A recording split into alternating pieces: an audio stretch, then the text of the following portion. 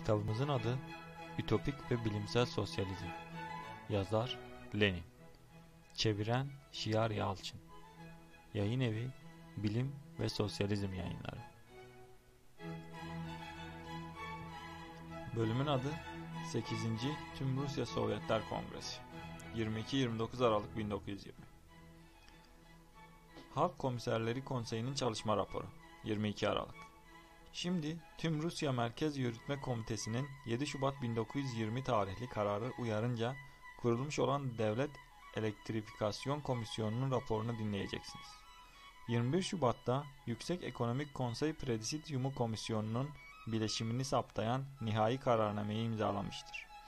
Böylece yüzden çoğu ekonomik konseyden, ötekileri ise Demiryolları Halk Kongresi ile Tarım Halk Komiserliğinden gelen en yetkili işçiler ve uzmanlar artık tüm enerjilerini bu işe ayırmış bulunmaktadır. Rusya'nın elektrifikasyonu için devlet komisyonunun çalışmalarının sonucu olan şu küçük kitap bugün ya da yarın sizlere dağıtılacaktır. Bu küçük kitabın gözünüzü korkutmayacağına güveniyorum. Kanımca bu partimizin ikinci bir programıdır. Preobrazhensky ve Buhari'nin yoldaşlarca yetkin bir biçimde açıklanmış olan parti programımız bunun kadar büyük olmamakla birlikte son derece değerli bir kitap halinde yayınlanmıştır. O, partimizin politik programıdır. Amaçlarımızı saymakta, sınıflar ve yığınlar arasındaki ilişkileri anlatmaktadır. Ama artık bunları yeyleme dönüştürmenin ve pratik sonuçları ölçmenin zamanı gelmiştir. Parti programımızı yalnızca partimizin bir programı olarak kalmamalıdır. Ekonomik kalkınmamızın programı haline getirilmelidir. Yoksa bir parti programı olarak bile değerini yitirir. Onun için onu ikinci bir parti programıyla tüm ekonomimizi yeniden kurmaya ve onu modern teknikle geliştirme düzeyine çıkarmayı amaçlayan bir planla tamamlamak gerekir. Bir elektrifikasyon planı olmadan gerçekten yaratıcı bir çalışmaya girişemeyiz. Tarım, sanayi ve ulaştırmanın kalkındırılmasını ve bunlar arasında uyumlu bir işbirliği sağlanmasını tartıştığımız zaman geniş kapsamlı bir ekonomik planı tartışmak zorundayız. Belirli bir plan kabul etmeliyiz. Kuşkusuz bu bir deneme planı, yaklaşık bir plan olacaktır. Bu ikinci parti programı yalnızca parti kongresinde değiştirilebilecek asıl parti programımız gibi değişmez bir program olmayacaktır. Tersine bu program her gün, her atölyede, her Vols'ta sürekli olarak iyileştirilen, geliştirilen, yetkinleştirilen ve değiştirilen bir program olacaktır. Bu önce bir taslak olacaktır.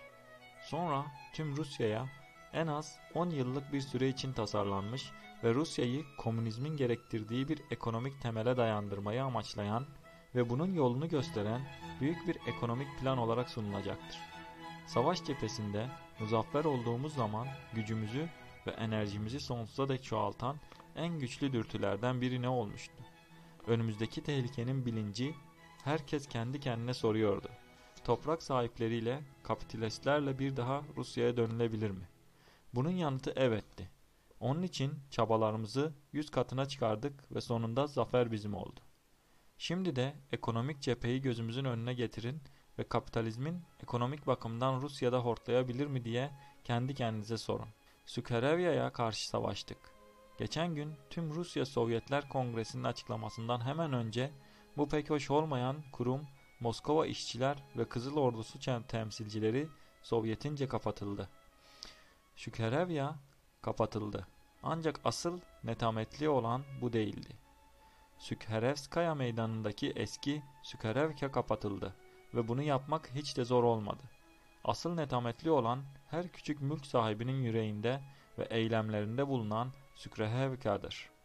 Asıl ortadan kaldırılması gereken işte bu Sükrehevka'dır. Çünkü o kapitalizmin temelidir. O ayakta kaldıkça kapitalistler yeniden Rusya'ya dönebilirler ve bizden daha güçlü hale gelebilirler. Bunu kafamıza koymamız gerekir. Bu çalışmalarımızın başlıca etkeni, başarılarımızın zorunlu koşulu ve ölçüsü olmalıdır. Bir küçük köylü ülkesinde yaşadığımız sürece Rusya'da kapitalizmin ekonomik temeli komünizminkinden daha sağlamdır. Bunu kafamızdan çıkarmamalıyız. Kırsal bölgelerdeki yaşamı dikkatle incelemiş ve bunu kentlerdeki yaşamla karşılaştırmış olman bir kimse kapitalizmin kökünü kazımadığımızı ve iç düşmanın temelini çürütmediğimizi anlar. Bu temel küçük ölçüde üretime dayanır ve onun çürütmenin tek yolu vardır. O da ülkenin ekonomisini, tarımı da içine almak üzere yeni bir teknik temele, modern büyük ölçüde üretim temeline dayamaktır. Böyle bir temeli ise ancak elektrik sağlayabilir. Komünizm, Sovyet iktidarı tüm ülkenin elektriklendirmesidir. Yoksa ülkemiz bir küçük köylü ülkesi olarak kalır.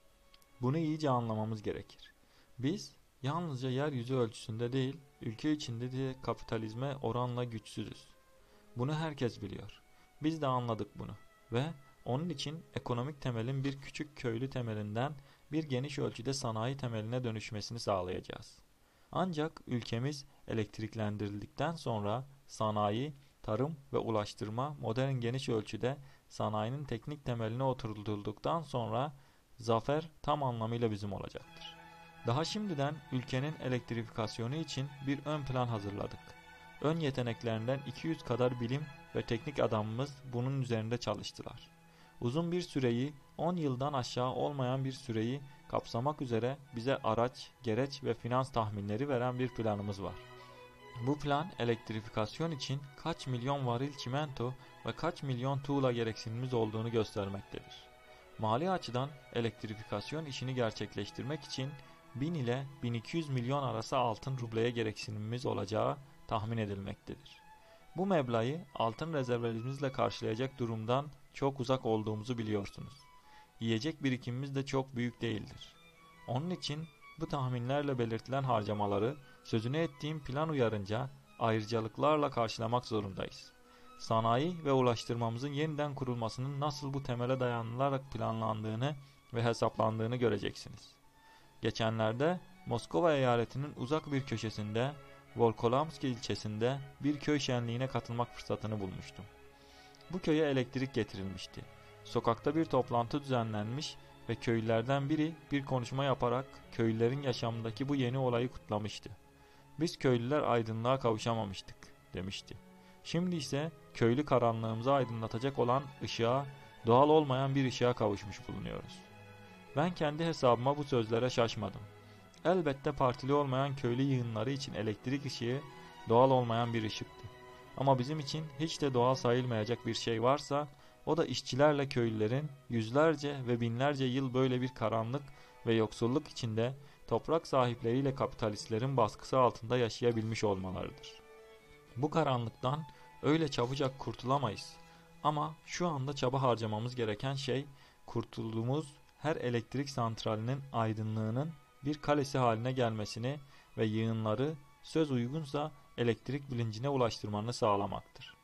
Daha bugünkü sayıları birkaç düzineyi bulan bu küçük elektrik santrallerinin niçin sinayi kalkınmamızla yakından ilgili bulunduğunu herkesin bilmesi gerekir. Hazırlanmış bir elektrifikasyon planımız vardır. Ama bu plan gerçekleştirilmesi birkaç yıl sürecektir. Bu planı ne pahasına olursa olsun gerçekleştirmeliyiz. Gerçekleştirme süresini de kısaltmalıyız. Elektrifikasyon planımızı gerçekleştirmek ve kapitalizme dönüş olacağını ortadan kaldıracak değişiklikler yapmak için 10 ya da 20 yıl gereksinimimiz olacaktır.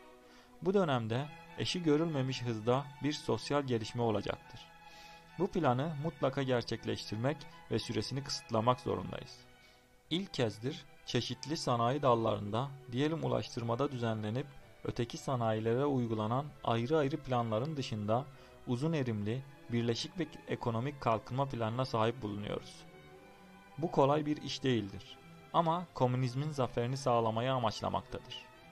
Ama anlamamız ve unutmamamız gerekir ki okuma yazması olmayan bir halka ülkemizi elektriklendiremeyiz. Komisyonumuz cehaleti ortadan kaldırmaya çalışacaktır. Ancak bu yeterli değildir. Eskisine oranla çok şey yapmıştır. Ama yapılması gereken oranla az şey yapmıştır. Okur yazar insanların yanı sıra kültürlü, aydın ve öğrenimli emekçilere gereksinim vardır. Köylülerin çoğunluğu bizi bekleyen görevlerin mutlaka bilincine varmalıdırlar. Partinin bu programı her okulda kullanılan standart bir ders kitabı olmalıdır.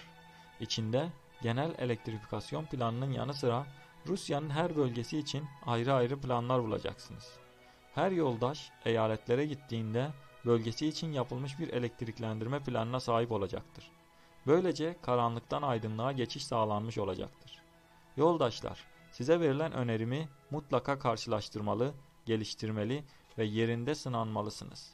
Her okulda ve eğitim merkezinde komünizm nedir sorusu yanıtlandırıldığında yalnızca parti programında yazılı olanların değil, karanlıktan nasıl çıkabileceğimizin de anlatılmasını sağlamalısınız. En iyi adamlarımız, iş uzmanlarımız kendilerine verdiği görevi başarıyla yerine getirmişler. Rusya'nın elektriklendirilmesi ve ekonomisinin kalkınlandırılması için bir plan hazırlamışlardır. Şimdi işçilerle köylülerin bu görevi ne kadar büyük ve çetin bir görev olduğunu, onun nasıl ele alınması ve nasıl üret üstesinden gelinmesi gerektiğini anlamalarını sağlamalıyız. Her fabrikanın, her elektrik santralinin bir aydınlanma merkezi haline gelmesini sağlamalıyız. Eğer Rusya yoğun bir elektrik santralleri ağıyla ve güçlü teknik tesislerle donatılacak olursa komünist ekonomik kalkınmamızı gelecekteki sosyalist Avrupa ve Asya için bir model olacaktır.